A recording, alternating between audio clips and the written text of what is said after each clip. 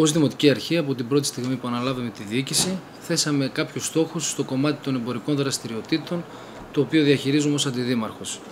Πρώτο βασικό και κομβικό σημείο είναι η πάταξη του παράνομου εμπορίου. Δεύτερον, η νομιμοποίηση όλων των αδειών πλανόδιο και στάσιμου εμπορίου.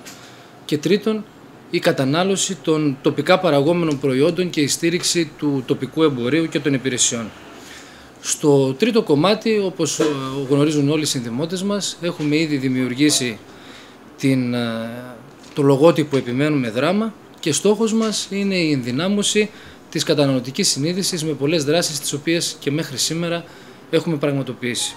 Στο δεύτερο ζήτημα της νομιμοποίησης των αδειών, του στάσιμου και του πλανόδιου εμπορίου έχουμε δημιουργήσει περισσότερες θέσεις που συνεπάγεται νέες θέσεις εργασίας και πάντα αυτά σε συμφωνία και συνεργασία με όλους τους φορείς και κυρίως τους επαγγελματικούς φορείς ούτως ώστε πλέον κανένας σήμερα δεν μπορεί να ισχυριστεί ότι δεν μπορεί να εκδοθεί άδεια νόμιμη για, την, ε, για το παρανόδιο και στάσιμο εμπόριο.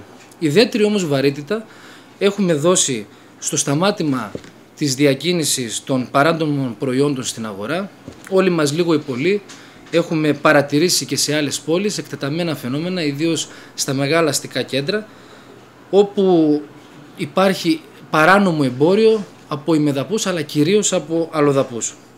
Η Δημοτική Αστυνομία ε, και ιδίως μετά την ψήφιση του νόμου 3982 πιστεύουμε ότι με μεγάλη αποτελεσματικότητα έχει κινηθεί σε αυτό το θέμα.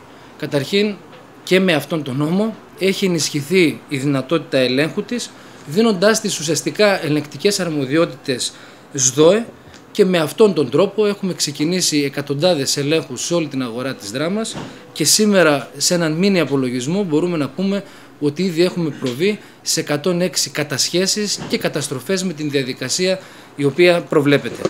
Για τις κινήσεις μας αυτές έχουμε λάβει συγχαρητήριες επιστολές από επαγγελματικούς φορείς και στις συσκέψεις οι οποίες γίνονται για την πάταξη του παράνομου εμπορίου έχουμε αποσπάσει τα θετικά σχόλια αφού πλέον συγκαταλεγόμαστε στις πρώτες θέσεις σε αυτό το κομμάτι.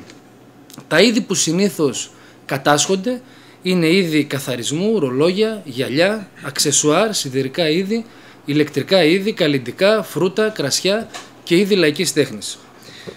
Σήμερα πιστεύουμε ότι έχουμε θέσει υπό έλεγχο τη μάστιγα αυτή για το επίσημο εμπόριο, η οποία αποτελεί και βασική αιτία υποβάθμισης της καθημερινότητας των συνδημοτών μας.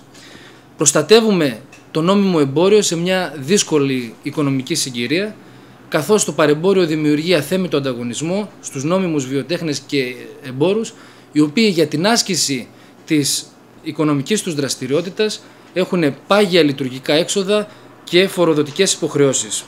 Προστατεύουμε την δημόσια υγεία διότι τα απομιμητικά κυρίως προϊόντα κρύβουν σοβαρούς κινδύνους για τους καταναλωτές για τη δημόσια υγεία.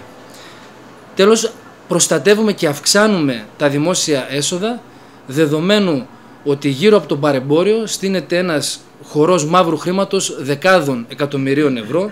Τα προϊόντα αυτά εισάγονται, διακινούνται και πολλούνται χωρίς να καταβληθεί ούτε ένα ευρώ σε φόρο εισοδήματος, ΦΠΑ, δασμούς, τέλη και ασφαλιστικές εισφορές.